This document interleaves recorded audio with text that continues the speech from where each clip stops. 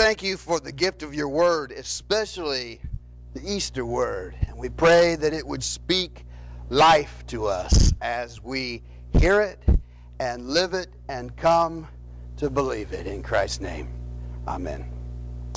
There's this uh, magician who had a gig working a cruise ship. And uh, he was pretty good, too. Did a lot of amazing tricks. And part of his act, he had a parrot, trained parrots to work with. him. And most of the time, the parrot did a pretty good job. But one evening, for whatever reason, the parrot was in a bad mood or something. And the, the magician did this great trick. He made something disappear, and the audience was starting to clap. And the parrot said, He stuck it up his sleeve. And the magician said, Shh. And he did another trick, and the audience was amazed. And the parrot said, It's in his pocket. He said, Shut up, shut up, shut up. And then one more trick. And, and, the, and the parrot yelled out, He shoved it in his jacket. And the magician said, That's it. And he went over and grabbed the parrot by the neck and he started to strangle it. And right at that very moment, the cruise ship hit an iceberg and sank and there was chaos everywhere, and it ended up the magician floating on a board in the middle of the ocean. The magician was on one end of the board, and the parrot was on the other end. And they just stared at each other for a long time. And finally, the parrot said, Okay, I give up. What'd you do with the ship? this, is, this is really why I'm leaving. I'm running out of jokes. Uh, we're here today because something amazing has happened. Uh, something magical has happened. There was a body that was supposed to be in a tomb, and it was not there. And it was not up anybody's sleeve. It was not stuck in anybody's pocket. Uh, but he was alive. And, and every year when I preach on Easter, I always think it would be so great if we were hearing this story for the first time. Uh, I mean, I don't even remember when I heard this story for the first time, but if we were hearing it for the first time today, that would really be something. But but even though we all have heard this a thousand times before and we all know how this story goes, let's, let's, let's look at it one more time and see why this really is a magical, amazing, incredible story. Mary Magdalene is going to the tomb and she is crying. She is heartbroken. She's uh, sad. She's confused. And uh, the reason why we need this story is because we all end up right there. Sooner or later, that's where we all end up at some time in our lives. Uh, I was thinking about uh, time several years ago. I had to do a funeral, and uh, Holden was just a little guy. He was about six or seven, something like that. And I had to bring Holden with me. I don't remember why, but nobody to watch him. I had to bring Holden to the funeral home with me, and uh, I gave him a you know a tablet of paper to draw on, and there were some church people there that he could sit with, and he did just fine. But after the funeral, we were going home, and I could tell that he was thinking about something. I could see the, the wheels turning in there. And he said, Dad, said, that was weird back at that place. He said, I saw people crying. And he said, I saw grown ups crying there. Amazing. It blew his mind. I brought it up to him the other day, and he, he, still remembered it.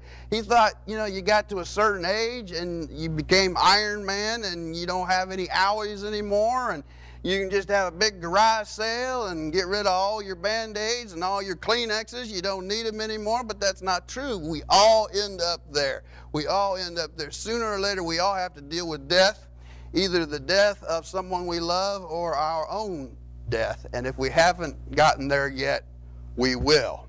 And uh, that's, that's I, something that I have to believe that every human being wrestles with sometime in their life. You know, what, what is this death thing? What's the deal with death? When I die, is that going to be the end of the Mike Rayfold show? I kind of liked the Mike Rayfold show. But uh, the mortality rate in this country is still 100%. And sooner or later we have to deal with the fact that we're not always going to be here. Easter's answer to the problem of death is resurrection. Or the Gospel of John likes to call it eternal life. Uh, and, and here's the thing about that, though. We all picture it the same way. Uh, we all have the same image there. We always picture it sitting on a cloud and playing the harp forever, right? Sounds awful. Sounds terrible. I've said this before. If I die and I go somewhere and somebody hands me a harp, I'm going to start wondering about where I am. Uh, it's not enticing. But if you look at the if you look at the Bible, both the Old and New Testaments, and you see how the Bible describes eternal life, which it doesn't do a lot, but when it does, most of the time, the Bible describes eternal life as being a party. That's sounding a little better. And not just any party, but as a wedding party. Now, back in Bible times, people did not save up their money to send their kids to college. In the Bible times, people saved their money for their kids' wedding. And their wedding parties were not like ours, where we just eat some cake and do the electric slide and go home and wear our least comfortable shoes. Their weddings lasted seven days. And they would go all out. There would be all kinds of food. There would be all kinds of wine. There would be music. There would be dancing. They would whoop it up. It was the best time in any of these people's lives. And that's how the Bible describes eternal life. Um, we, a lot of us love stories about like near death experiences or people that were dead for just a minute and they come back and they've seen things. And I think there's a movie came out this weekend called Heaven is for Real about a little boy's near death experience. And uh, I'll tell you my favorite story of these. Um, my, my, my own favorite, real quick. This is a true story. Happened to a friend of mine, another pastor that I know. Her father got sick, bad sick. Uh, in fact, he was in critical condition, and the hospital called all the family in, said, You better come in, say your goodbyes. It's not going to be much longer. And so they all came around, uh, but somehow the old man rallied. That happens sometimes. Uh, and he got a little bit better. And in fact, he got to go back home. Mean, he was still bedfast and he still slept most of the time, but he was home. And every day at noon, his wife would make herself lunch, you know, just a little sandwich or something, and she would go into her husband's room and sit at the foot of his bed and eat in there. You know, still better than eating alone, right? And one day she was sitting in there eating her lunch, and her husband opened his eyes, and he looked right at her, and he said, Well, I suppose you're going to ask me whether or not I saw our Lord. Referring back to when he was critical. Uh, she was kind of stunned uh, for a second, and she said, Well, did you? And he said, Yes. And she said, Well, what was he doing? Says he was, he was doing what he always does. What's that? Well, he was singing and he was dancing and he was laughing. She said, Was that it? No. He was also teaching us. And then his eyes drifted over to the corner of the room and he was staring at something. And his wife said, He's here right now, isn't he? And her husband said, Yes. And he says that I'm to tell you no more. Now you can make whatever you want of that.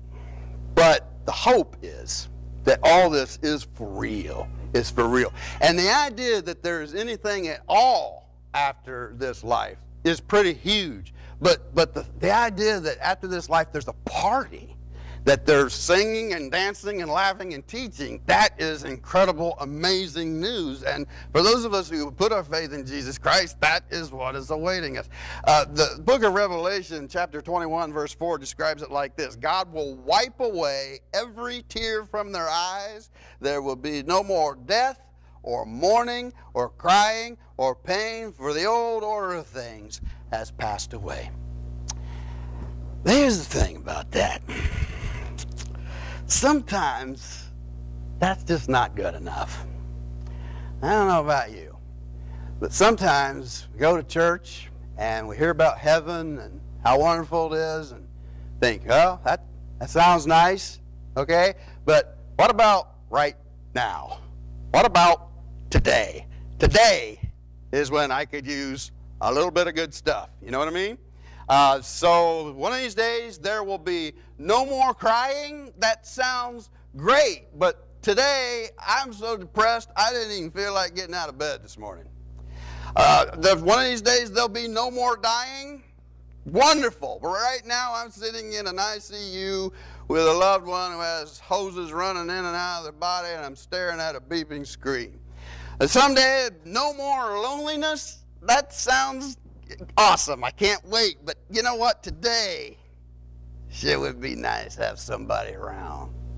Or someday there'll be this party that will never ever end. Fabulous. But today, I feel like a G.I. Joe that got put in a microwave oven just to feed him. So what are you supposed to do with Easter on a day like that? What do you do when you're when you're feeling that way? You just say, "Well, it's too bad I'm not dead." You know, if I was dead, I'd be living it up right now. Apparently, Jesus says, "No." What if what if I told you that eternal life is something that does not begin after we die? What if I told you that eternal life begins now? What if I told you that eternal life is not something that's just for heaven, that it is for this life right here today? Uh, I, I, met a guy one time uh, years ago who uh, did a lot of ministry in nursing homes. I, I hope this story doesn't upset anybody. Uh, I hope not. It, I'm just going to tell you like it is, okay? Uh, he said that the people he worked with in the nursing home there, he said these people are really excited about two things. They're looking forward to two things. He said they're, they're, they're looking forward to dying and going to heaven. They want to see all their friends and family and stuff. And he said, and they're excited about going to the toilet. They, and they talk about both of those things a lot every day. If dead yet? No, not dead yet. Gone to the toilet today? No, not yet today. Working on it. And, and, and that's what they look forward to. And, and my guy says, you know, there has to be something, there has to be something between the toilet and heaven for these people. And he made it his mission to find out what that was. And Jesus would agree. Jesus says, that uh, eternal life is not something that happens after we die. Nowhere in the gospel is there a single place where Jesus says it happens after you die. It's, it happens when we meet Jesus because of our relationship with Him that we experience it now. In fact, this would surprise probably some people out there, but Jesus very seldom talked about heaven. A couple few times, maybe. But not that. Jesus did not talk about heaven half as much as we do. Jesus talked about this world. He talked about this life. This life is where we are meant to experience eternal life, not just someday, but now. I, uh, I this was the best illustration that, that I could think of. Um, it's sort of like chocolate rabbits. When I was a kid, used to get chocolate rabbit for Easter, and it seemed like back then they were huge. They'd be like the size of my little brother, and I would take that thing out with both hands and and chomp down on that thing's ears, and it, it was hollow. It would always be hollow. And I thought, well, what a ripoff. And then I, I don't know how old I was when I found out that not all chocolate rabbits are hollow. They make chocolate rabbits that are solid chocolate. And they have them at the very same store. You don't have to go to the specialty shop in Columbus. They got them right there on the same shelf. And I heard about that. I, they got solid milk chocolate rabbits. And here I am eating this air rabbit. And and and uh, you know, why, why, why, why, why do parents do that to their children, I wondered. When I, uh, my kids were little, I used to tell them that the rabbit is hollow uh, to remind us of the empty tomb. Um, No, no, uh, no, no, I never said that. Uh, that would be bad. Uh, but uh, you, if you're a kid here today, we still got some kids in here today. If you're a kid and you got a chocolate rabbit for Easter and it's hollow, you need to tell your parents to go back to the store. Tell them go back to the store. Tell them, tell them, Pastor Mike. Tell them, Pastor Mike told you to say that. What do I care if they get mad at me, right? I'm leaving. I'm leaving. But, but the message of Easter is we don't have to be hollow. We can be full. We can be solid. We can be rich. We can live a life that's eternal here. So, so I thought about that this week, and I thought, well, well that sounds good, you know, theologically or whatever. But what, what does that actually mean? I mean, what is it that Jesus actually does for us, like on Monday, that makes this life any different than, than it would be otherwise? And I, this is what I thought. I think he gives us power. I think he gives us a power that's beyond our own power to, to face life. I don't know if you're like me. Does you look around? Does it seem to you like a lot of people are just tired? You ask people how you doing? Tired, tired, work, tired of winter, just just tired. You go to Walmart and you look around at the people with the faces are sliding down. You see these young mothers pushing the cart with the little kid in the cart and the little kid screaming his head off and the mother is just like go ahead and scream. I just don't even care anymore. And you can just feel the, the weariness, the, the tired. And, and I've long been sort of fascinated by the, by the fact that, uh, that this thing has become a multi million dollar industry in this country these energy drinks. These energy drinks are everywhere. There's all kinds of them. And apparently, there's a lot of people in the world that are just finding it difficult to stay awake all day. Uh, so uh, I got one. Believe it or not, this is true. Believe it or not, I have never had one of these things before today. I had one at West Franklin, but it was a different one. And uh, I thought, I will just try one of these things, see, see what they are. So, this is called Monster.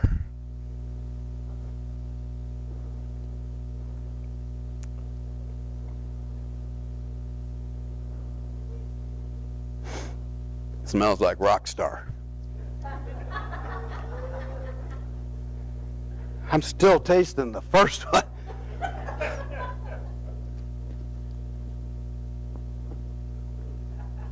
I'll take it.